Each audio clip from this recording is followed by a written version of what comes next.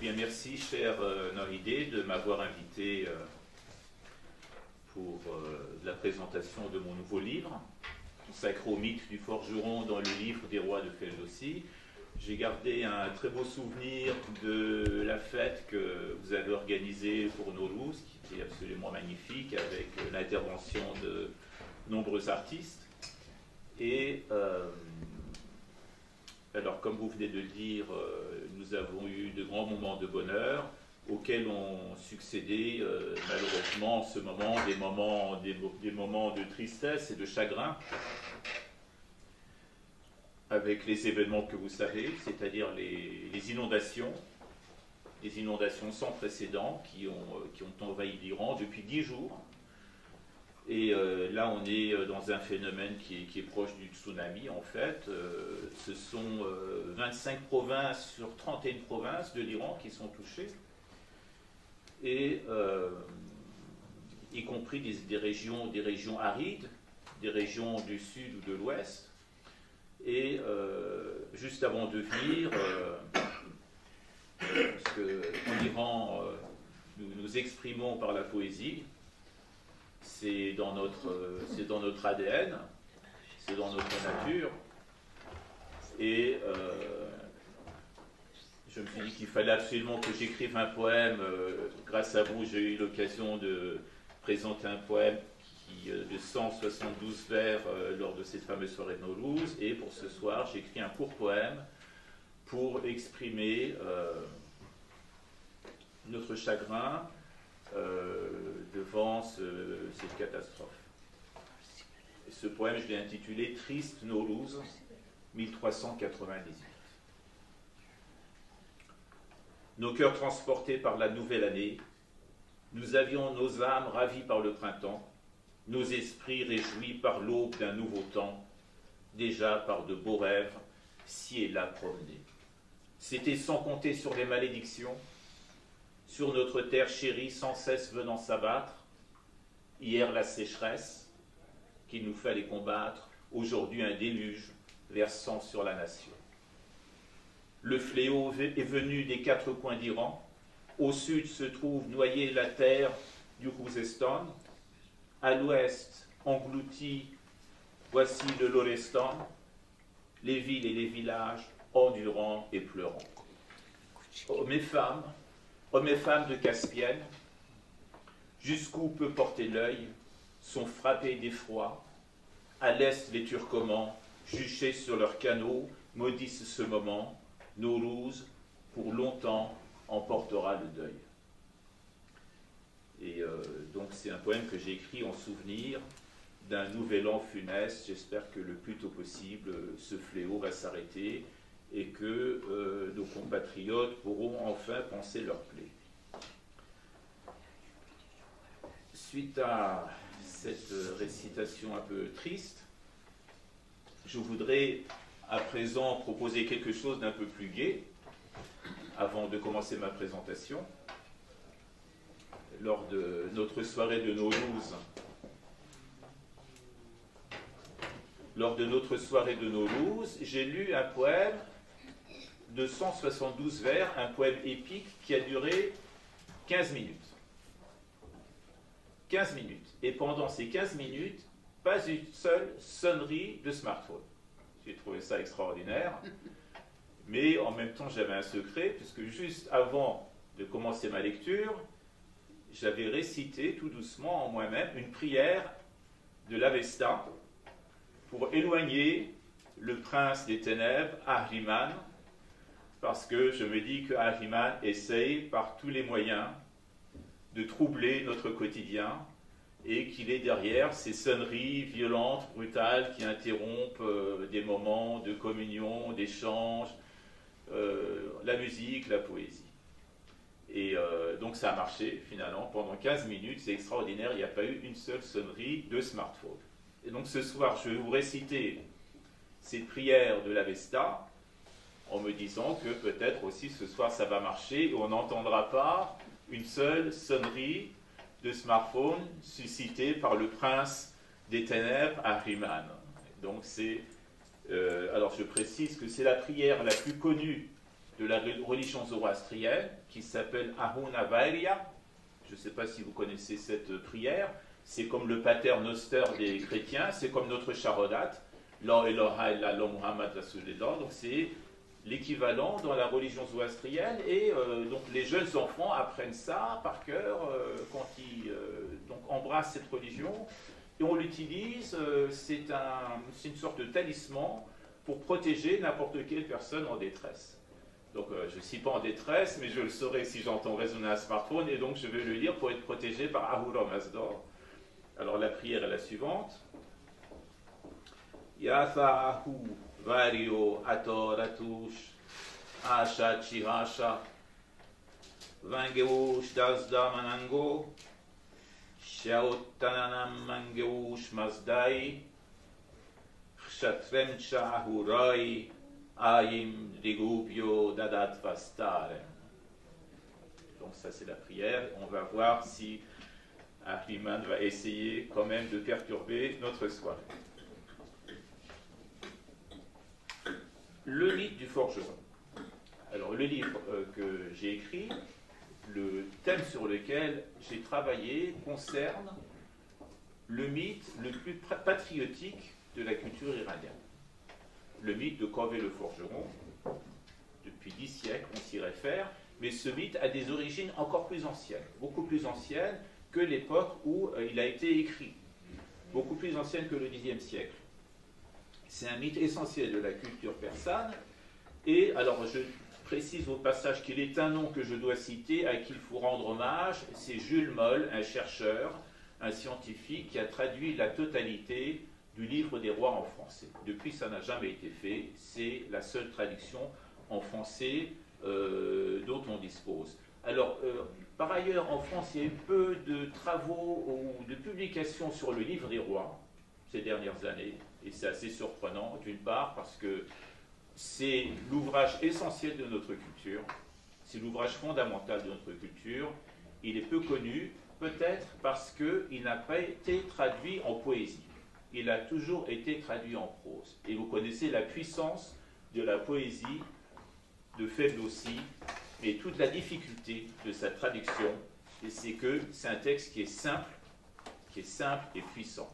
Et c'est toute la difficulté de le reproduire en français dans une poésie qui soit simple, dotée de la même puissance.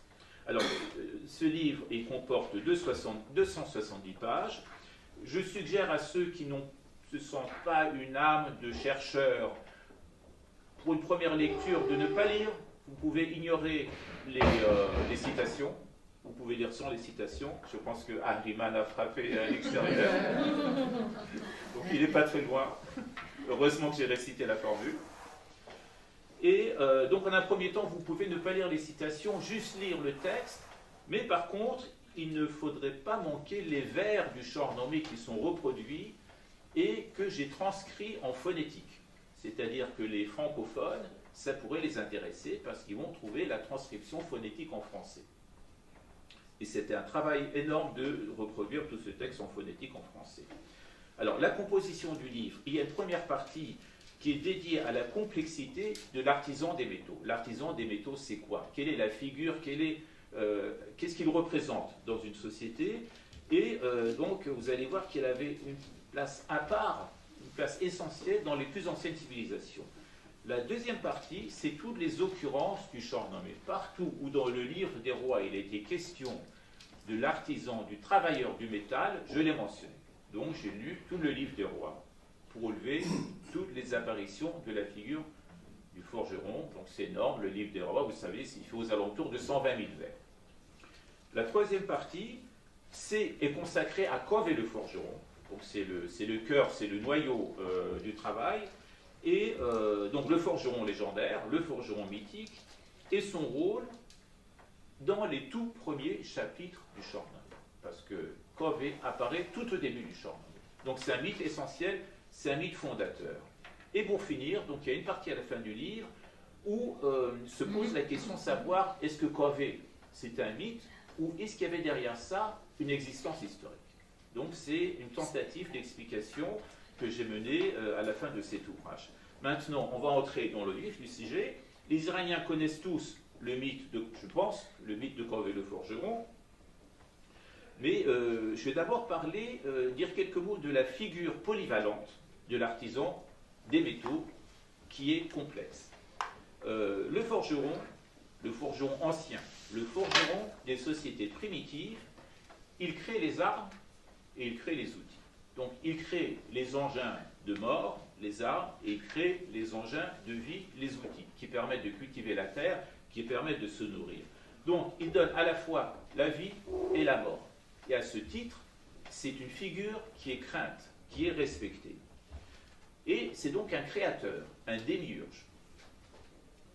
Euh, il se situe entre euh, les artisans du métaux, il se situe entre le fondeur, c'est-à-dire celui qui va extraire le métal du minerai. Il sort, il fait accoucher, on dit il fait accoucher la terre. Il fait accoucher la terre du métal. Ensuite, le forgeron donne la forme au métal. Et après, c'est l'alchimiste. Alors l'alchimiste, c'est encore autre chose, c'est celui qui va essayer de trouver la pierre philosophale grâce à laquelle on peut transformer tous les métaux en or. Entre ces deux-là, il y a le forgeron. Le forgeron maîtrise le fer et le feu. Donc, il est craint, il est respecté, c'est un élu. Dans les sociétés anciennes, c'est un sorcier, c'est un prêtre, parce qu'il sait travailler avec des matières qui sont sacrées. Le fer, le feu. Celui qui sait travailler le fer, donc c'est une personnalité qui est hors norme, hors du commun. Euh, dans les sociétés primitives, donc c'est un héros civilisateur. Et c'est ça qui va me permettre de faire la transition maintenant avec le livre des rois, parce que héros civilisateur, ça veut dire quoi? C'est-à-dire ceux qui sont intervenus, donc l'élite en l'occurrence, dans la mise en place des débuts de civilisation. Alors quand vous ouvrez le nommé, les premiers chapitres du nommé sont consacrés au roi Pishtadien, les premiers rois, les rois de l'origine du monde. Le nommé, le livre des rois raconte l'origine du monde, l'origine de l'Iran. C'est la même chose. Hein, nommé, l'origine du monde, l'origine de l'Iran, c'est la même chose. Et les questions des tout premiers rois qui ont apporté la civilisation. Et donc, d'où le tableau que, donc, que vous voyez derrière vous, les schémas que vous voyez derrière vous. Alors, il est question, dans les premiers chapitres, des premiers rois, qu'on appelle, champs en épisodie, les rois pishtadiens. On va voir ensemble euh, donc, cette, cette généalogie. Vous avez de ce côté les noms en persan et cette colonne en avestique. Le même nom en avestique. Alors, les rois pishtadiens, donc les premiers rois, en avestique, euh, ça donne Baradota. Bara, ça veut dire avant. Dota, ça veut dire donner. Dodé. Persan, c'est l'équivalent. Et comme, en l'occurrence, le persan et le français, ce sont des langues indo-européennes, vous avez le mot data, aujourd'hui même, au XXIe siècle, qui signifie donner. On dit big data, donc ce sont des données globales. Donc, signifie donner avant les rois donnaient avant. Alors, c'est-à-dire quoi les rois donnaient avant? C'est-à-dire ceux qui sont venus en premier, avant les civilisations. Paladota. Et ça a donné Pishdod, Pishdodion, Aspichdod et Voilà, les premiers rois. Donc, les premiers rois civilisateurs, alors qui sont ces rois? Le premier roi s'appelle Kiumas. Alors, ce, euh, donc, ce roi, Kiumas, a régné pendant 30 ans. Le premier roi de l'histoire durant l'histoire du monde. Il a régné pendant 30 ans. Son nom en avestique, c'est Gaïa Maletan. Gaïa Maletan euh, signifie. Quelqu'un le sait?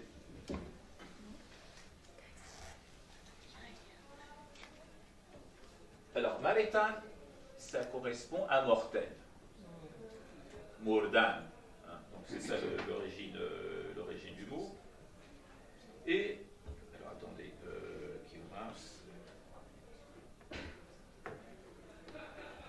Gaïa signifie la vie.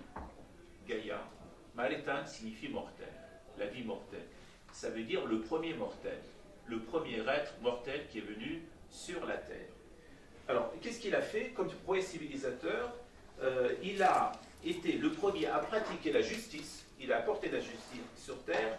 Il a enseigné aux hommes à s'habiller et à se nourrir. Donc ça, c'était la fonction du premier roi civilisateur, le premier Pishdoli qui a régné 30 ans. Ensuite vient Husheng, le deuxième roi. Husheng, en euh, avestique, ça donne Haoshianha. Haoshianha, qui signifie le bon choix. Et c'est de donc ce mot Husheng, donc si vous avez euh, par exemple euh, vous connaissez quelqu'un qui a une jolie copine, puis vous lui dites, bah, tu as fait un bouchin. Il va dire, ah non, c'est-à-dire un garçon. Il dit, non, non, bouchin, ça veut dire bon choix. Tu as fait le bon choix. Ah, donc c'était un roi qui été bien choisi. Et il a régné pendant 40 ans. Et alors, qu'est-ce qu'il a fait euh, Il a maîtrisé le feu, il a appris à tirer les métaux de la pierre, et il a inventé l'art du forgeron. Alors, vous voyez que là, ça devient intéressant parce que j'ai travaillé sur le métier du forgeron. Le premier être sur Terre à maîtriser le travail du fer et du feu, c'est un roi. Donc il y a déjà une différence par rapport aux sociétés primitives. Donc c'est un roi dans cette lignée-là. Et vous comprendrez pourquoi donc j'insiste sur cette étape-là. C'est un roi, Pishdodi, qui enseigne le premier le travail du métal.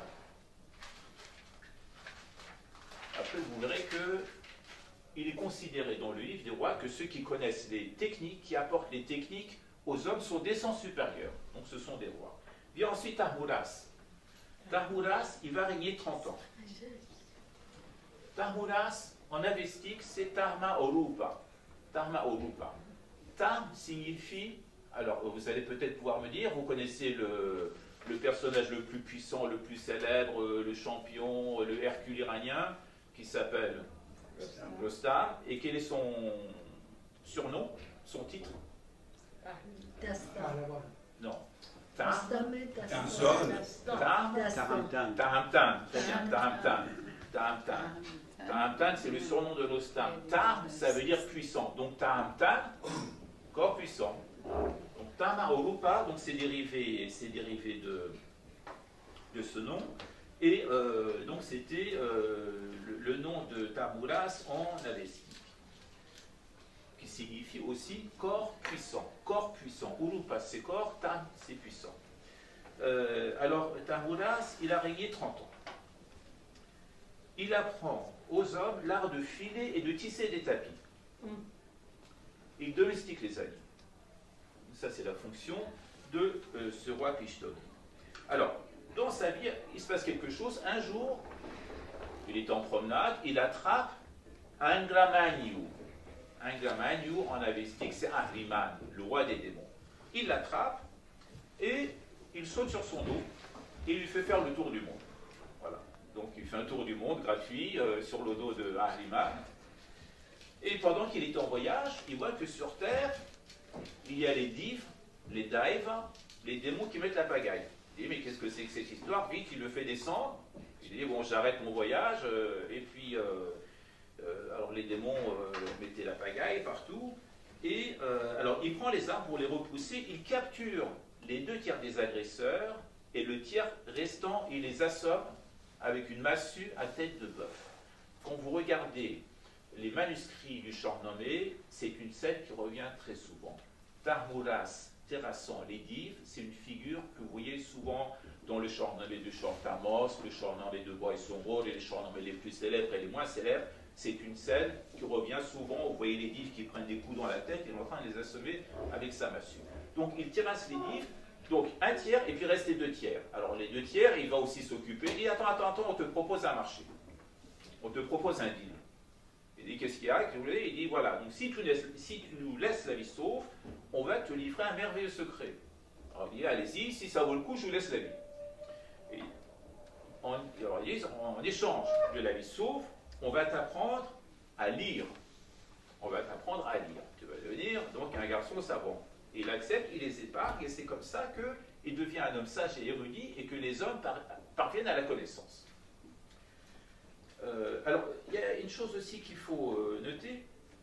Vous voyez que ces rois, euh, leur mission dans le livre des rois, c'est prendre de force le savoir. Ils arrachent les matières de la terre, ils assomment les dives. C'est comme si des pouvoirs, ces entités venues d'en haut, allaient arracher de force tout ce qui peut correspondre à la civilisation. Hein. c'est la fonction qui est donnée à ces rois, parce que ceux qui ont le savoir, c'est les divs. Et les divs, c'est quoi? Les divs représentent la matière. C'est les créatures de la terre. C'est les créatures de la terre. Alors que les dieux, les pictoniens, sont en relation avec le ciel, avec l'esprit, hein, avec les puissances d'en haut. Donc, dès le début, on a compris ce scénario, et des créatures qui sont en relation avec le monde d'en haut, qui se battent avec les créatures qui sont en relation avec le monde d'en bas, pour leur prendre le savoir de force et le donner aux hommes. C'est ce qu'on déduit donc de ces premiers, euh, de ces premiers chapitres. Et euh, alors, quand vous regardez euh, les manuscrits et les miniatures du nommé, vous voyez la représentation des dives, comment on les représente. Alors, les dives, donc, ils représentent les forces obscures de la, de la Terre, ils sont poilus, ils ont des cornes, ils ont des crocs, ils ont des griffes. Je suppose qu'ils sentent mauvais, mais ça, on ne peut pas le voir, on ne peut pas le sentir dans le, dans le manuscrit. Et le pouvoir qui, des, dieux qui viendront et de leur arracher ce savoir. C'est la lutte entre l'esprit et la matière. Ensuite, Jamshid. Le roi suivant, Jamshid, il va régner plus longtemps, il va régner 700 ans. Jamshid en avestique se dit Yimar Shaeta.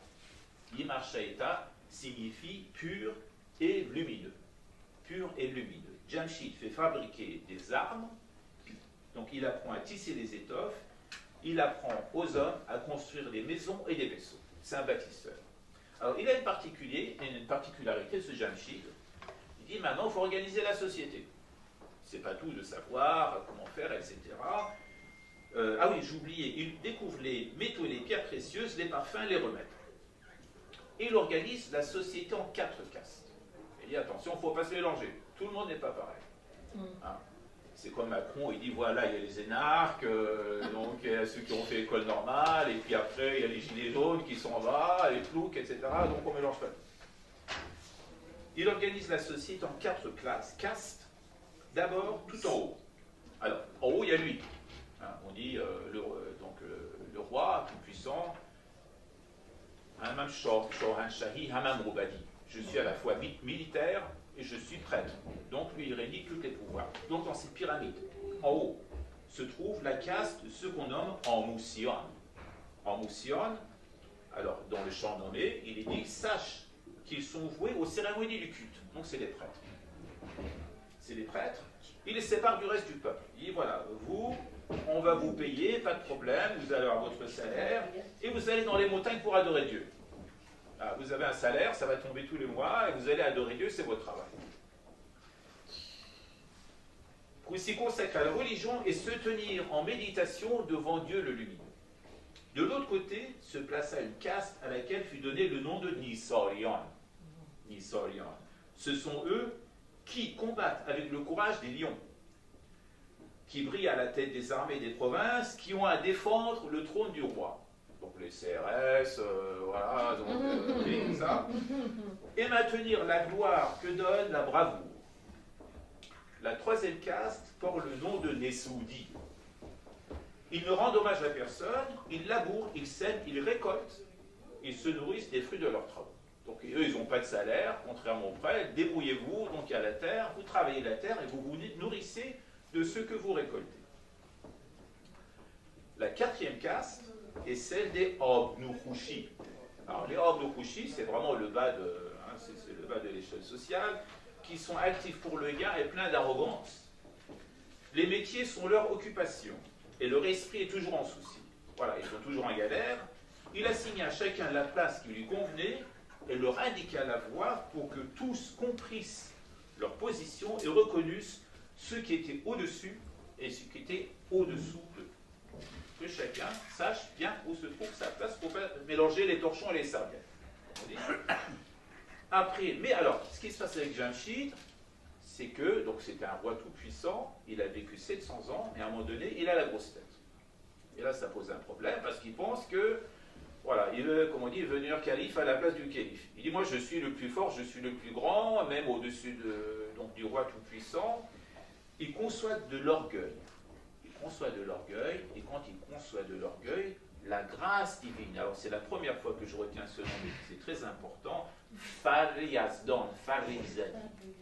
se retire de lui. Quand il se prend la grosse le, le qui est en lui, hop, hop, hop, il va et s'en va. Il se, il se, retrouve complètement largué. Hein, il bascule du côté sombre de la création, comme Dark Vador. Hein. il bascule du côté sombre de la création, il devient complètement. Euh, euh, il perd tout son pouvoir et euh, l'Empire sombre dans l'anarchie. L'anarchie totale. Et les guerriers de l'Iran disent c'est pas possible, on ne peut pas continuer avec un roi pareil, on va chercher un autre roi. Et c'est là où les malheurs de l'Iran commencent. Euh, donc, ils vont chercher un roi qui s'appelle Zarok, bien, qui s'appelle Zarok, donc qui vient de l'ouest. Qui vient de l'ouest, donc on dit qu'il vient du côté de Babylone, du pays des Arabes.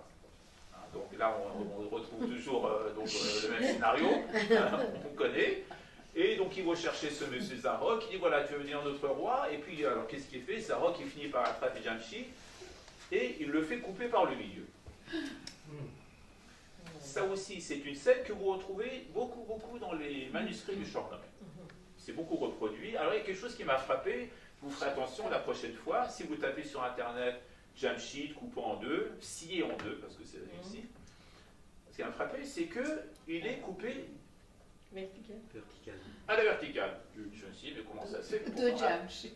Oui, oui c'est ça. Alors je me disais, pourquoi ils ne font pas par le milieu, ça va plus vite Mais je me suis dit, mais ça c'est parce que les Sirènes sont des artistes. Et ils se sont dit, on va couper comme ça, on a deux belles moitiés pareilles. On, a le Nasdi, Iranian, Nastovas, l'art et le propre des Iraniens, on va le couper par le milieu, on aura deux belles moitiés. Et ça, vous voyez donc, euh, c'est souvent la représentation qu'il y a dans les miniatures. Et donc on arrive au règne de Zarok. Zarok, alors les Iraniens, ils vont en prendre pour un siècle. Ils vont en prendre pour un siècle dans la figure, ils vont en baver pendant mille ans. Le règne de Zarok dure mille ans, c'est la créature du démon.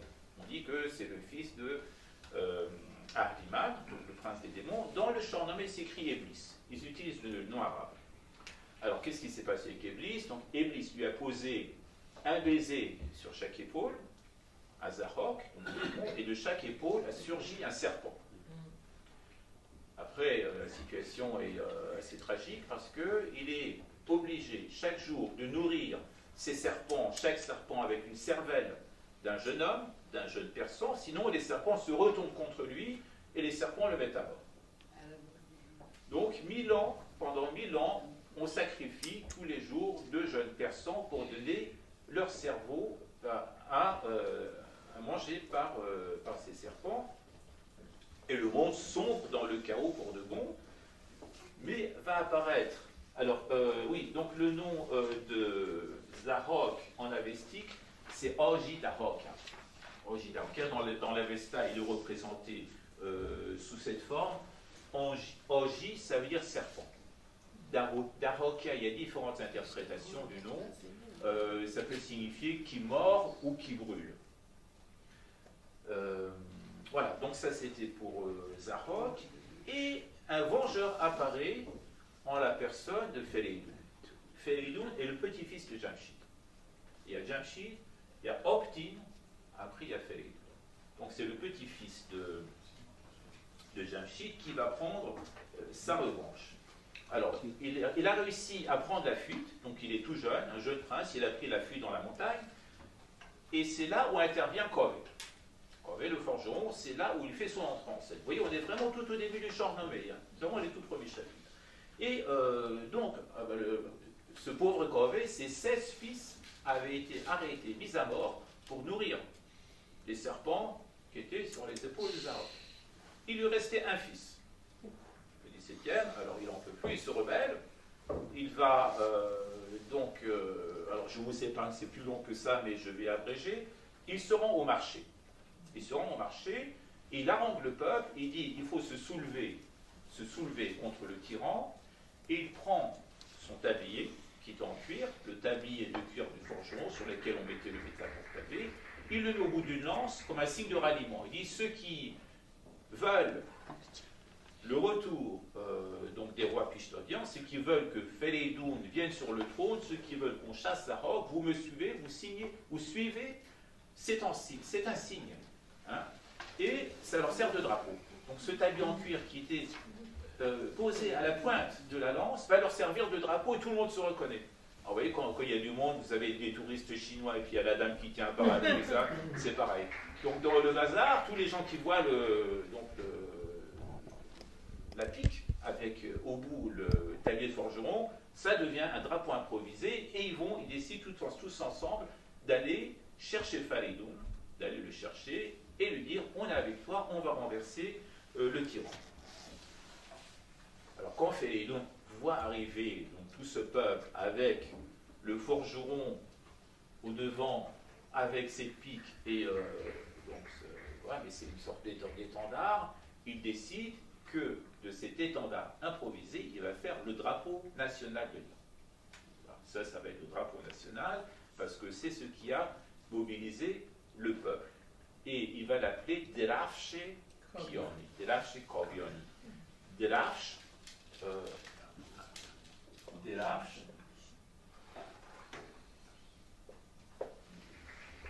Alors, toujours, le français et le persan, c'est la même origine des langues indo-européennes. En sanskrit, ça donne le mot drapsha. Drapsha, drapeau. Delafsh, drapsha, drapeau. Donc, Delafsh l'étendard national, et euh, donc euh, tout le peuple est ameuté, ils vont renverser, ils vont renverser euh, et donc vous savez ce qu'on fait après? Vous n'avez pas bien étudié votre char, non mais. Ils vont l'emmener sur le mont d'Amovin. Ils vont l'emmener sur le mont d'Avoin, ils vont rentrer dans une crevasse, dans une grotte, parce que Falidoun voulait le tuer. Il y a un ange qui apparaît, il dit non, non, je pense que c'est Soulouche. Il dit non, non, il ne faut pas le tuer, tu vas l'enchaîner dans la montagne d'Amovan, qui est le volcan légendaire de l'Iran, le plus haut sommet de l'Iran. Euh, et euh, on l'enchaîne. On l'enchaîne jusqu'à la fin des temps. Et on dit que quand euh, le entre en éruption, c'est-à-dire que Zarok est en train de secouer ses chaînes ça c'est la légende. Et puis vient le règne de Feridoun. Feridoun qui, euh, dans l'Avesta, se nomme Thraetaona. Dans l'Avesta, et va régner 500 ans. Il a trois fils, Ilaj, Salm, Tout. Et un jour, il veut les mettre à l'épreuve. Il dit, je vois ce que, ce que valent mes fils, et il connaissait l'art de la magie, il se transforme en dragon il apparaît devant ses trois fils qui se baladaient sur leurs chevaux à la campagne pour voir comment ils vont réagir. Le premier Salm, qui était un peu heureux, il tourne bride et il galope et il fonce dans l'autre sens et il se sauve. Le deuxième, Tour, qui était une brute, il sort tout de suite euh, son épée et veut rentrer dedans. Le troisième, Ilaj, engage la conversation avec le dragon. Il dit, écoute, euh, nous, on est les fils de Félidou, qui est le fils d'Opti, qui est le fils d'un, les Pishtadiens, on est d'origine divine, en plus on est trois, tu as peu de chances de t'en sortir. Alors, il vaut mieux que tu abandonnes, tu passes ton chemin, voilà, tu passes par là, on oublie cette histoire. Et donc Félidou, qui s'était changé en dragon, il dit tiens, celui-là, il sort du lot, il est différent des autres. Et c'est ce qui détermine le choix qu'il va faire de l'héritage c'est-à-dire les pays qu'il va léguer après sa mort à chacun de ses fils. Et voilà comment donc euh, ça se répartit. Alors je vous lis le passage en persan.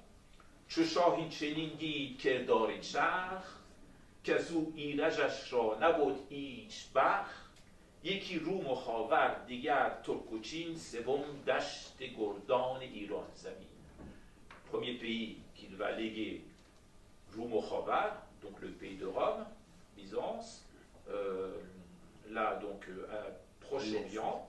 Ensuite, l'autre, le pays des Turcs et de la Chine, donc l'Asie centrale. Et puis le plus beau, le plus prospère, au milieu, entre les deux, donc le pays d'Iran. Au trouillard, au peureux, Hassan lui va donner Rome et Byzance. À celui qui a envie de se bagarrer, donc il va dire voilà, donc là c'est des déserts, c'est des steppes, tu vas aller là-bas, tu vas te bagarrer avec qui tu veux. Et le plus prospère, celui du milieu, il va donner à Iraj, et bien entendu, ça va susciter la jalousie. La jalousie, c'est, ils ont dit, donner le plus beau à c'est insupportable.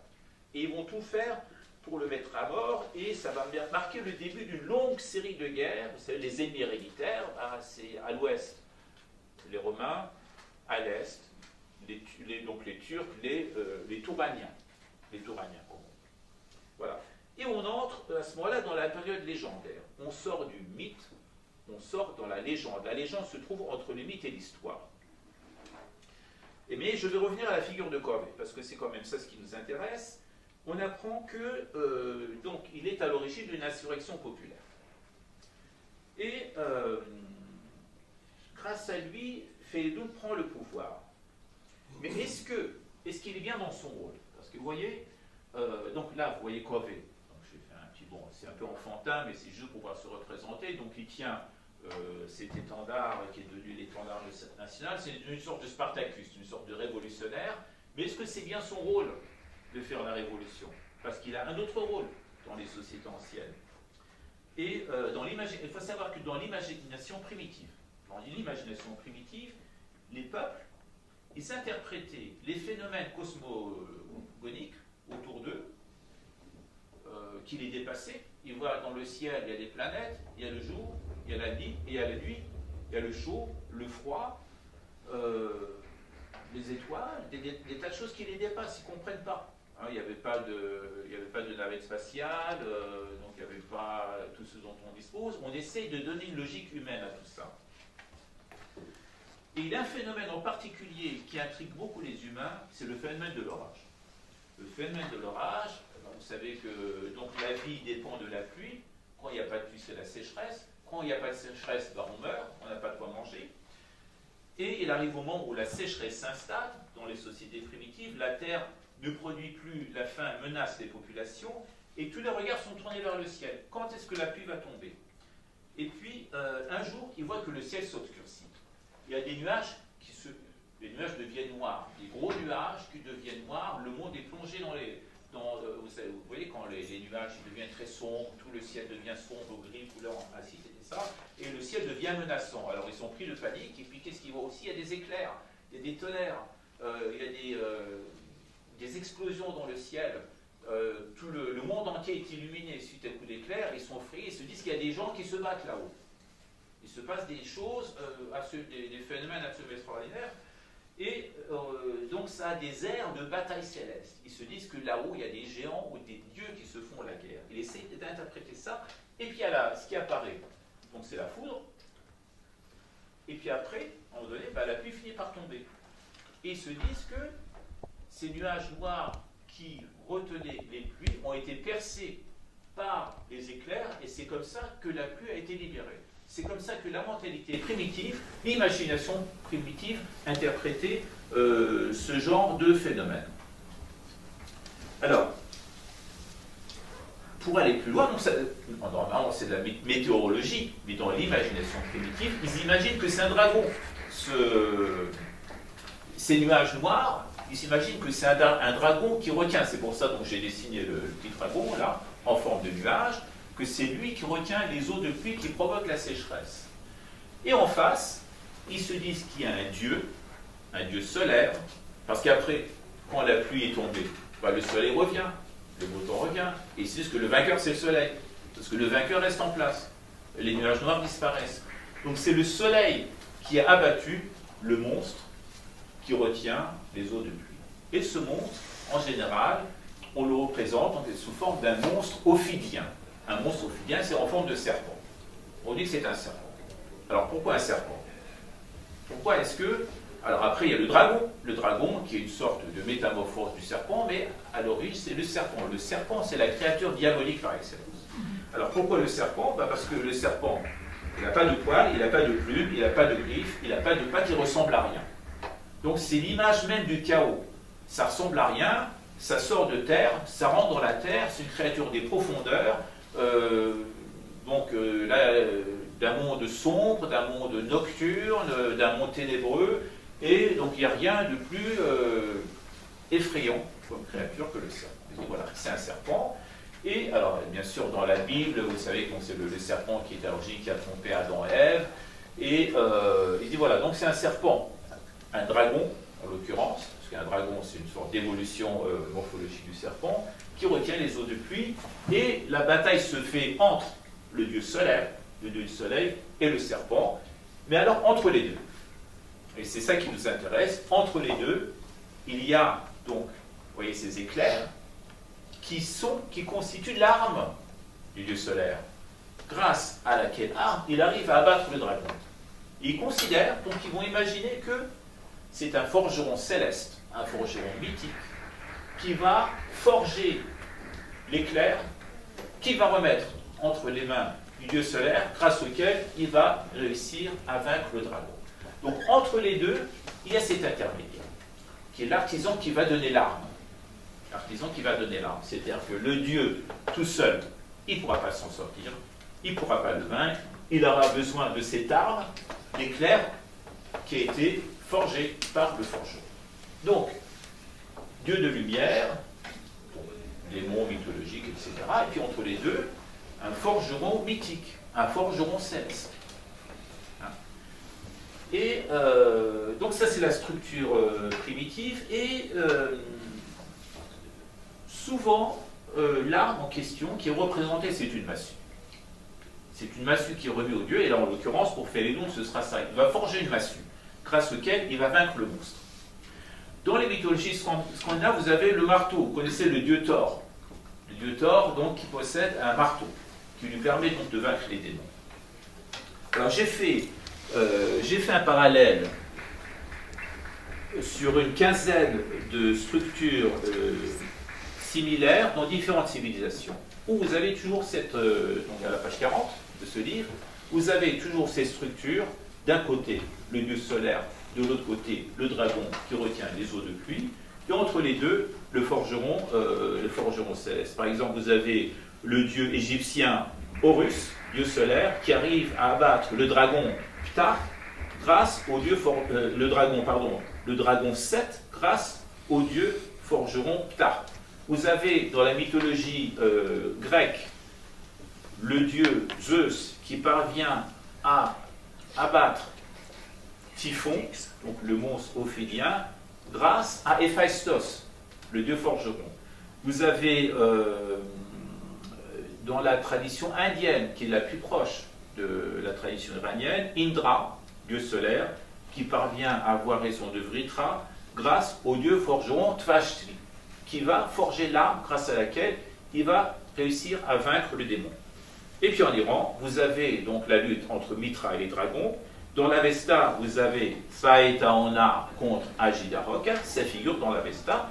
Et puis dans Feld aussi, vous avez Feridun, donc le dieu solaire, qui va vaincre le dragon, donc qui est Zarok, qui est une figure humaine.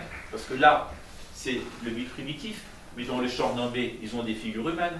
Parce que ce qu'il faut retenir aussi, c'est que quand, euh, alors ça j'ai oublié de le préciser, quand Félédoun parvient à vaincre Zarok, l'Iran redevient prospère. La terre de l'Iran redevient prospère, la terre de l'Iran se remet à verdir, à fleurir. C'est-à-dire que sous le règne de Zahok, le pays était atteint pendant mille ans de sécheresse. Donc avec l'arrivée de, donc, la prise du pouvoir par Falidoun, l'Iran redevient prospère et l'Iran se met à renaître. Donc c'est en relation avec des phénomènes météorologiques aussi. Mais euh, ce qui se passe dans le Chornomé, qui se passe dans le Chornomé, c'est qu'on n'a rien au milieu. On a Félédoun, on a Zahok, mais il n'y a pas de forgeron qui va forger l'arme pour Félédoun. Là, il est zappé, cette figure-là. Et on donne à, donc vous voyez, à,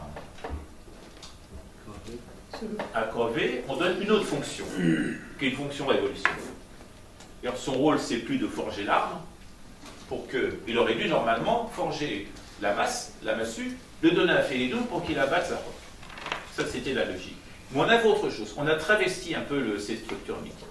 Donc, là encore une fois, je me répète, le dieu solaire, une fois qu'il a vaincu le dragon, la pluie tombe, grâce à l'aide du dieu forgeron, la terre renaît, et donc on a ce trio qui fonctionne depuis très longtemps, depuis des siècles et siècles. Mais quand ça arrive au Charnomet, la structure iranienne, on fait autre chose. Donc on change le sens de l'histoire.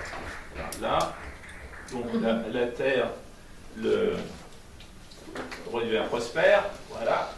C'est mieux. Et c'est ça qui est intéressant, c'est-à-dire que euh, dans le Chornomé, il est dit que Félédoun convoque des forgerons. On ne sait pas qui c'est des forgerons anonymes. Il demande à une équipe de forgerons de venir et dit voilà, je vais vous faire un dessin et vous allez exécuter ce que je vais vous demander. Donc ce n'est pas le forgeron qui le fait, c'est Félédon qui prend la place du forgeron. Et sur le sol, donc sur le sable, il dessine la forme d'une massue, ça, une massue à tête de bœuf. Et il demande à les forgerons de construire cette massue. Donc c'est lui qui prend l'initiative, et cette structure centrale disparaît. Donc il ne reste plus que Félédon et Zarok. Et les forgerons ne sont plus que des exécutants. Et à Kové, on donne le rôle révolutionnaire. C'est-à-dire que Kové, ça va être celui qui va soulever le peuple contre le tyran.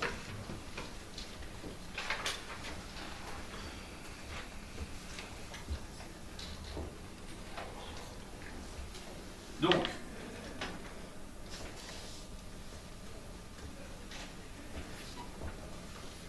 ce que je voulais ajouter aussi, c'est que euh, quand le peuple va retrouver euh, ils reconnaissent en lui le porteur de phare. Je vous ai parlé du phare tout à l'heure, la grâce divine. C'est-à-dire quand le peuple va chercher Phalédon, dire voilà, si on veut que toi, tu sois notre roi, on va te suivre, on va renverser sa roque. Quand il voit Phélédon, il voit en lui le phare, la grâce divine. Alors on ne sait pas comment, mais bon, voilà, il devait rayonner ou quelque chose comme ça. Et c'est ça qui fait la différence. Et euh, donc dans mon étude, c'est ça que je démontrais, que ce sont ceux qui possèdent la phare divine, c'est-à-dire les générations des rois qui se succèdent, ce sont ceux-là et ceux-là seuls qui doivent changer le cours de l'Iran. Donc il ne peut pas y avoir ici de forgeron. Il ne peut pas y avoir un artisan d'une caste inférieure. Il faut que ce soit le roi et le roi seul qui entreprennent cette démarche d'abattre le dragon. Est-ce que c'est clair pour vous? Hein? Il ne peut pas y avoir d'artisan entre les deux. Donc l'artisan mythique des origines, on va le zapper, il va être celui qui va rameuter le peuple pour venir renverser Zarok. Est-ce que c'est clair pour vous? Hein il, y a, il y a une manipulation, il y a une manipulation mythologique pour justifier une idéologie, une idéologie royale. Un artisan n'a pas sa place dans ce schéma ancien, dans ce schéma cosmogonique. L'artisan n'a pas à venir apporter donc la massue au roi, froger la massue, c'est le roi lui-même qui va passer la commande et qui va avoir sa massue, qui va intervenir directement. Par contre, le forgeron, voilà, donc son rôle, ça va venir là, ça va être de rameuter le peuple et apporter une légitimité au roi. Alors, euh, donc quand le roi il monte sur le trône, alors je ne sais pas, est-ce que j'ai perdu le timing, est-ce qu'on est bon au niveau des détails Quand le roi monte sur le trône, il va faire une piqûre de rappel. Vous vous souvenez de Jamshid qui avait établi les catégories, les classes, euh, donc les, systèmes des classes Zarok monte, sur le trône pour dire attention, euh, c'est très bien, vous avez fait la révolution, vous avez renversé Zarok, mais il ne faut pas le refaire tout le temps. Une mm. fois c'est bon. Mais après, donc chacun retourne à sa place. Et voici ce qui est décrit dans Charnommé. Il s'assit sur le trône, de, trône d'or de Zarok, il renversa les mauvais symboles de son pouvoir, il ordonna que d'en haut de la porte on proclama ces paroles au peuple. Vous tous, pleins de gloire, d'éclat de sagesse, il ne faut pas que vous vous teniez sous les armes. Attention, ne faites pas le boulot des militaires. Il ne faut pas que vous cherchiez une même gloire et une même renommée. Il ne faut pas que l'armée et les artisans cherchent une distinction de la même espèce. L'armée et les artisans, attention, il ne faut pas se mélanger. L'un doit travailler, les autres doivent combattre. Chacun a un devoir qui lui est propre, l'un entreprend l'œuvre de l'autre, Sinon, le monde se remplit de désordre. Pour que ce ne soit pas le chaos, pour que le monde ne se remplisse pas de désordre, il ne faut pas que les artisans fassent le boulot des militaires, il ne faut pas que les militaires fassent le boulot des prêtres, ainsi de suite. Et alors, là où c'est intéressant, j'ai lu le mais jusqu'au bout, et dans un des tout derniers chapitres, j'ai trouvé un passage qui est très intéressant. Il est question, donc, alors les tout premiers, il y a les Pistoniens, après les Lachioniens, après donc il y a les Parthes, etc. Il y a la dernière dynastie, c'est des Sassanides, le dernier chapitre du nommé. Et euh, il est question du roi Nushin Bavon, donc un roi sassanide, et euh, donc qui était en guerre contre le pays de Rome, donc les éternels rivaux. Et euh, alors il est en campagne et il n'avait plus d'argent pour payer les troupes. Il s'arrête à côté d'un village. il dit comment je vais faire? Il faut payer les troupes, il faut continuer la guerre. Et puis son ministre qui s'appelait Bozogmer, il dit, euh, bah, c'est très simple, il suffit de demander aux gens du village de vous prêter de l'argent, et après vous rembourserez, comme ça vous, pourrez, payer votre. Et pardon Alors on envoie euh, donc Bozogmer, il va passer une annonce, il dit voilà, donc Sa Majesté, euh, le Shindavon est là, il, a besoin de payer ses troupes, est-ce que quelqu'un peut lui payer une telle somme d'argent? Et il se trouve un bottier un artisan, un bottier qui était très riche. Il dit bah, Moi je peux, je peux aider le roi. On fait apporter les, euh, euh, on fait apporter les, balances. Et donc, pièces d'or, pièces d'argent, il paye tout ce qu'il faut payer. On met sur le dos des chameaux. Et au moment où Bozokme est en train de partir avec euh, toutes ces sommes, il dit Monsieur le ministre, j'ai une requête à vous faire. Alors il dit Qu'est-ce que tu veux? Il dit Voilà, j'ai une prière à faire au roi des rois. J'ai un fils qui a beaucoup de talent, qui est cultivé, et j'aimerais bien qu'il fasse partie des scribes de Sa Majesté. C'est-à-dire les scribes, c'est-à-dire ceux qui s'occupent de l'administration. Et ça, c'est la première case. Il y a les Mobades, donc je disais, il y a les énarques, il y a les intellos, euh, donc ça se passe à ce niveau-là. Il dit J'aimerais, si c'est possible, que le roi accepte qu'il monte d'un cran. Alors Beaujolais dit d'accord, je reparle au roi, il va au roi, donc on apporte les chameaux avec toute la somme pour payer les troupes. Et Beaujolais dit voilà, donc l'artisan qui vous a prêté cet argent, euh, il a cette faveur à vous demander. Et euh, donc Castor Chivron entre en colère et dit Jamais de la vie, tant que je serai le roi d'Iran, je ne permettrai qu'un citoyen passe d'une caste à une autre. Et euh, donc il ordonne aussitôt qu'on lui ramène son argent, et dans le chant nommé, il dit que le cœur donc, du, Gauthier a été rempli euh, de confusion et de tristesse. Voilà. Euh, alors, ce que c'est une petite partie, ce que je vous ai présenté, c'est vraiment une petite partie euh, du travail, mais ce qui est intéressant c'est de retenir, c'est que la légitimité, la légitimité des classes sociales vient de quelque chose qui n'est pas, qui n'est pas sensible qui n'est pas préhensible. C'est le phare. Le phare, bien souvent, c'est la grâce. Classes supérieures ont le phare, après les militaires ont leur phare, etc. le phare, il est représenté, alors j'ai fait un dessin, mais vous connaissez, je pense tous, ce symbole, qui est le phare avara, qui est l'Esprit Saint. C'est une représentation de l'Esprit, comme euh, bon, dans la religion chrétienne, il y a les saints, bah, nous on a le phare avara, euh, l'Esprit Saint, et qui représente la grâce divine. Et euh, donc c'est ce qui justifie, c'est ce qui justifie un statut, ce qui justifie un rang. Et euh, ça se transmet. Voilà, c'est pas, euh, ça ne vient pas du talent, ça ne vient pas des efforts d'une personne, ça ne vient pas du travail, c'est quelque chose qui se transmet, qui a une origine indéfinie, qui vient d'en qui vient des sphères supérieures.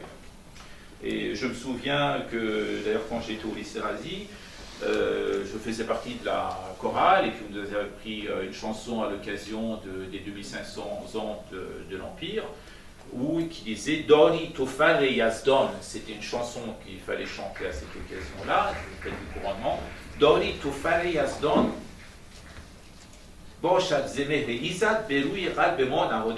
Tu possèdes l'aura divine. Tu possèdes l'aura divine et grâce à cette aura, dont ton règne sur nous est éternel. Donc c'est la relation, euh, c'est cette relation avec les sphères supérieures qui détermine donc la structure sociale euh, du pays. Voilà. Et donc euh, tout ça pour dire que la tentation est très grande pour les êtres humains que nous sommes de trouver une origine surnaturelle aux différences de classe. Dire que voilà, ça vient d'en haut, à partir du moment où ça vient d'en haut, ça ne peut pas se discuter. À partir du moment où on considère que Falidoun avait le phare divin, elle avait la grâce divine, ça suffit. On n'a pas besoin d'autres explications. Et tous ceux qui viendront après, donc ses descendants, auront aussi forcément l'aura divine. Et euh, à cela, je préfère, je suis tenté, donc malgré toute l'admiration la vénération que j'ai pour la poésie de Ferdowsi, de souscrire à la pensée d'Omar Khayyam, pour ce qui est de la pensée, parce que Ferdowsi, moi j'adore Ferdowsi, je l'ai traduit, mais pour ce qui est de la pensée, souscrire plutôt à la philosophie d'Omar Khayyam de l'Ishapour quand il annonce dans ses quatrains que nous sommes rien, nous sommes venus de rien et nous ne retournons à rien. Voilà, donc c'était euh, la fin de cette présentation. Je vous remercie pour votre écoute. Ah, ça c'est Ariman qui revient.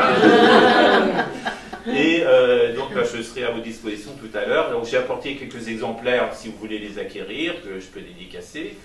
Et puis, euh, donc, je vous remercie pour votre écoute. Et puis, je suis à vos dispositions pour répondre à votre question si, si, si j'y parviens.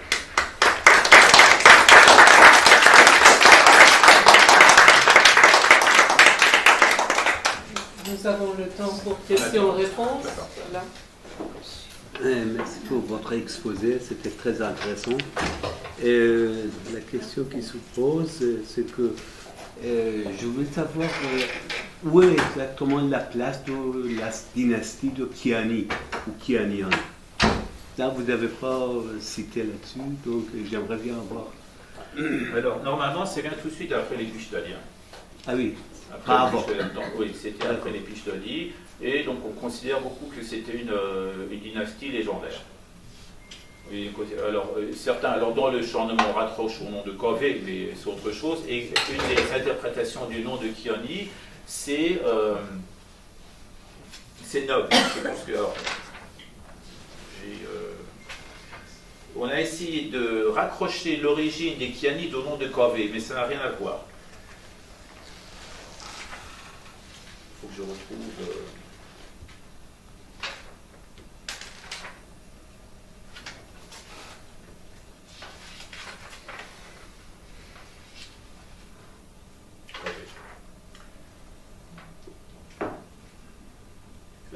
donc ce serait une euh, dynastie légendaire, serait constituée la plus ancienne organisation monarchique chez les Ariens après leur immigration dans l'Iran oriental.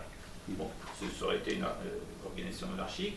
Et leur généalogie, alors la réponse précise à votre question, interviendrait tout de suite après celle des Pishdoliens, euh, après Gachos, donc qui est le dernier roi des Pishdoliens, à qui succédera le premier roi kéonide, Kavi Kavota, qui est Robot. Voilà, donc le premier roi Mais on considère que c'est d'origine, d'origine, d'origine mythique. Et alors, il est question de Kérobot dans l'Avesta, mais en fait, ce serait un titre qui signifierait surtout, alors soit prêtre, soit prince. Ce serait plutôt, ce serait plutôt, euh, ce serait plutôt un titre. Voilà. Une deuxième question. Alors, oui, si je, alors, il y a madame vous me permettez bon. Lorsque vous parlez de, de la durée de la dynastie de Irak, oui, oui. Euh, et tout, 700 ans, 1000 ans et 500 ans. Est-ce que, enfin la, question est suivante, est-ce que la durée de l'année dont vous venez de citer, c'est exactement les, mêmes années qu'on voit, parce que c'est 365 jours et 1000 ans et 700 ans, ça fait quand même ce sont des, chiffres astronomiques pour un, individu. Comment mais, en même temps, vous êtes euh, entre le mythe et la légende, donc euh, c'est forcément, comme vous dites, c'est pas forcément les mêmes repères. C'est les premiers rois, donc ils descendent, on dirait quelque part, donc ce sont les premiers mortels, mm. mais ils sont pas loin des immortels non plus. Ils font la transition entre les immortels et ceux qui viendront après, les mortels. Donc je ne pense pas que ce soit les mêmes années que nous. Voilà. Donc euh, bien sûr, Zarok, c'est celui qui dure le plus longtemps. Mais bon, euh, il y a eu beaucoup de changements parce que c'est le nommé, comme vous savez, date des Sassanides. Donc il y a eu beaucoup, beaucoup d'interventions. Et donc ce que j'expliquais tout à l'heure, c'est que tous ces, travestissements euh, des structures mythologiques datent des Sassanides. Donc c'était pour justifier une idéologie royale à l'origine de ça. Alors je serais incapable de vous dire, d'un point de vue calendaire, tout ça en termes d'années, qu'est-ce que ça représente. D'accord. Madame euh, Je voudrais euh, dire que, d'après ce que j'ai entendu, nos Russes viennent de temps de Jamshi. Oui, c'est ce, ce, qui figure dans les Chournomés. C'est ce qui figure dans les Chournomés. Il aurait institué la fête du Nowruz. Alors, je ne sais pas au moment où il est monté sur le trône, mais ça date de Jamshi. Donc, vous avez bien lu votre Chournomé. Pardon. Monsieur Oui, vous avez une question non. moi je dis, à la dame 2500 avant Jésus-Christ pour nos routes. Monsieur. Merci beaucoup pour la question très claire, très euh, instructive. Merci. Euh, j'ai pris beaucoup de questions, enfin, il y, a, beaucoup de questions qui, qui m'ont venu à l'esprit, mais j'essaye de, de, résumer pour en poser quelques-unes. Euh, tout d'abord, par rapport à, ce que vous avez dit par rapport au nombre de castes, donc dans l'imaginaire donc, primitif ou l'imaginaire euh, l'Avesta et, et, et, il y a des travaux euh, de, disons, dans le mouvement de structuralisme, Georges Dumézil notamment, qui euh, a travaillé pas mal dans la, disons, un travail Les structures des Indes européens. Il, en parle de trois classes, trois, pas quatre. Là, je voulais Oui, votre sentiment. Bah, c'est en fait, bon, ça, ça revient un peu à la même chose, puisque vous avez les prêtres, vous avez les guerriers, les guerriers et les producteurs. en fait. Hein, peu- ça, voilà. ça dépend comment on. Voilà, c'est-à-dire que la troisième catégorie peut être divisée en deux, mais ça revient à peu près au même. Effectivement, vous avez raison, euh, les sociétés indo-européennes, vous retrouvez ça euh, chez les Romains, et puis bah, en France, vous avez le clergé, la noblesse, le tiers-état, donc vous avez aussi ces structures tripartites. Mais euh, oui, en Iran, on a divisé le troisième en, deux, mais ça revient à peu près au même. Donc c'est prêtre, guerrier, producteur. Euh, la troisième et la quatrième catégorie, sont des producteurs. Alors peut-être qu'il y a cette euh, classification parce que c'était des propriétaires, hein, c'était des propriétaires terriens. C'est venu d'une famille de Dehran, une famille de Dehran, donc c'était des propriétaires terriens qui avaient un statut plus aisé que ceux qui travaillaient, que les artisans. Donc c'était un niveau au-dessus, donc ceux qui travaillaient, les artisans n'avaient rien.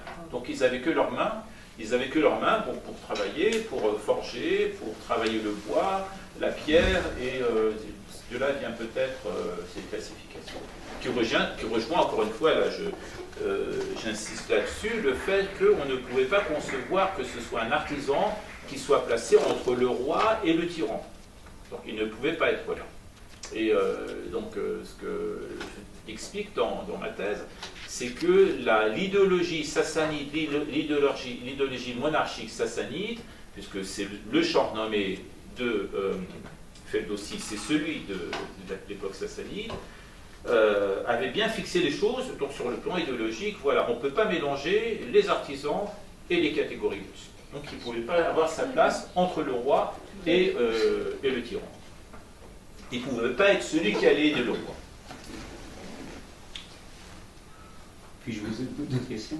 Oui, allez-y, Oui, vous avez parlé justement de euh, forgeron qui, qui avait une place entre le fondeur et l'alchimiste. Oui. Euh, le médium, euh, la classe, enfin, médium, classe moyenne. On, on voit en fait, d'après les travaux de sociologues, c'est c'est toujours les- la classe moyenne qui fait la révolution. Et finalement, on Oui. retrouve ce schéma de, de, de médium, de, de créateur, enfin, la classe moyenne. Il était peut-être faisait peut-être partie de la classe moyenne aussi de son époque, euh, qui pouvait porter éventuellement le drapeau et la, Oui. le mouvement et le, Oui. c'est intéressant La- ce que vous dites, les classes moyennes qui font la révolution. Alors j'ai tenté une interprétation de, de disons peut-être qu'il y avait une véritable histoire, peut-être qu'il y avait un, un révolutionnaire, une figure, parce que bon, c'est quand même étonnant, dans les premiers chapitres euh, du Chardonnay, bon, c'est le début de l'histoire, on dit qu'il va dans le bazar. Quand même surprenant, le bazar, les premiers siècles euh, de la naissance de l'Iran, du monde.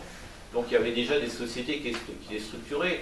Il devait y avoir des corporations, des corporations métiers par exemple, des corporations métiers. Et peut-être que effectivement, c'est essaie aussi de chercher de ce côté-là, peut-être qu'il y avait ce qu'on appelle des SENF, des corporations qui s'organisaient, euh, qui euh, en plus, donc, dans la légende, il est dit que c'était un forgeron formé.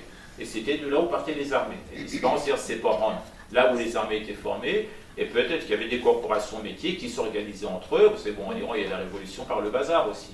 Donc ils étaient à l'origine de la révolution urbaine. Alors peut-être effectivement que Covey était issu de ces classes moyennes dont vous parlez, euh, donc des commerçants, des artisans qui étaient organisés entre eux en corporation et qui avaient une force, une force politique. Il y a des travaux des anthropologues, notamment euh, euh, Philippe Descola, qui euh, fait un travail magnifique, qui en fait euh, montre comment les civilisations, euh, par rapport à, la distinction de l'identification et différenciation, euh, et l'intériorité et l'extériorité, il arrive en fait à faire quatre catégories, quatre classes. Euh, animisme, totémisme, naturalisme et analogique, et il nous situe nous, euh, dans, disons, la classe des analogiques. Et on voit d'ailleurs très bien ça, c'est-à-dire que là, euh, effectivement, le serpent, qui, c'est une analogie par rapport, certainement parce qu'il y a la langue qui sort, en fait, c'est l'éclair qui sort et la langue, le serpent qui sort. Bref, c'est des analogies par rapport aux choses. Et, et cette, place de démiurge, parce que c'est quand même, il se mêle aux, aux affaires divines, il se, se, Oui. Oui, il ne peut pas être des murges, on ne peut pas lui donner ce rôle. Démiurge. Ouais, on ne peut pas lui donner ce rôle. Mais moi, je n'ai pas utilisé la méthode de l'anthropologie, j'ai utilisé celle de la mythologie comparée. Euh, Oui. Donc euh, là, c'est-à-dire ce qui est intéressant, c'est voir, vous prenez une douzaine de structures mythologiques, euh, la Grèce, euh, donc vous prenez euh, les mythologies germaniques, nordiques, euh, égyptiennes, euh, cananéennes, phéniciennes, et c'est les mêmes structures. Vous avez le, dieu solaire, vous avez le démon qui retient les eaux, entre les deux l'artisan. Donc c'est intéressant, c'est-à-dire qu'avec ça vous remplissez les trous qui figurent dans certaines, euh, certaines traditions et certaines littératures. Parce que la littérature, ce type de littérature, bah, c'est fait pour euh, conforter l'idéologie. Mais quand vous mettez en parallèle les autres structures mythologiques, vous dites tiens, il y a un trou, qu'est-ce qui s'est passé là? Donc ça, ça permet de resituer un peu l'évolution et, euh, la, généalogie du phénomène. Il ne s'agit pas de dire c'est bien, c'est pas bien, c'est dire d'où on est parti, où on est arrivé et comment ça a pu être possible. Comment il peut y avoir ce travestissement. D'ailleurs, ça ressemble beaucoup au cosmos et l'imaginaire de l'homme antique et des anciens qui, euh, en fait, voyaient le monde comme le cosmos et l'ordre cosmique et la place de chacun ou sous par Oui. en fait des classes, etc. Oui, D'ailleurs, je civilisations compare pas mal primitives. le corps humain, en fait, que chaque, chaque euh, être, chaque, chaque chose a sa place comme un organe de, de ce corps. Et, là, en fait, euh, je promettais justement aussi que euh, l'avènement de la technique et, et- et on peut dire aussi de la, la- modernité finalement. hein. Donc, se mêler aux choses divin- divines et, Oui, oui, oui. Et, et la création. Et je trouvais ça assez dommage que Ferrucci a supprimé cette classe. de- C'est l'avènement de la. Mais il a fait beaucoup Il a donné au, au roi. C'est vrai. Mais il a fait beaucoup d'autres choses. Il a sauvé notre identité, il a sauvé notre langue. Et donc, ce qui est- énorme. Est-ce qu'il y a d'autres questions? Est-ce qu'il y a d'autres questions? Euh, Oui. Une dernière question. dernière. Euh, vous n'avez pas cité justement de, de fils de Feridoun qui est Iraj, dont euh, sa part, il était en Iran. Oui. Il, il- il est où? Il est dans, dans, dans cette histoire-là Il est dans. Bah, Il finit par être tué par ses frères. Ah, Voilà. Ça, vous voilà. je ne me suis pas étendu là-dessus, puisque pour moi, ça s'est arrêté, euh, donc ça s'est arrêté à Félir. Après, donc, euh, c'est les trois. Après, on entre dans la période historique, les Kayanides. Donc, euh. Ouais. Après, c'est les guerres interminables entre l'Iran et le Touran, et puis plus tard entre l'Iran et puis euh, le pays euh, d'abord, donc jusqu'à l'invasion arabe. Et Salm Tour, Pardon? Salm Tour, les deux frères, Oui. les deux autres frères. Alors, je ne sais plus. hein, de, Ah. euh. Mais euh, ce qui est intéressant, c'est de noter que le Delaf chez Kovioni, Hmm. lui, il continue jusqu'à la fin.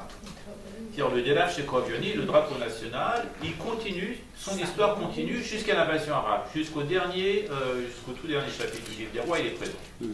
Et c'est avec l'invasion arabe, donc on le perd, et il est, il est mis en pièces, il était devenu énorme. Parce qu'à chaque fois, les rois successifs rajoutaient des étoffes précieuses, des bijoux, il fallait euh, 12-15 personnes pour le porter. On le portait au devant, au devant des armées, et c'était un gage de victoire. Ça apportait la chance, ça apportait le- euh, la, la grâce divine. Ben, je vous remercie beaucoup pour euh, votre écoute.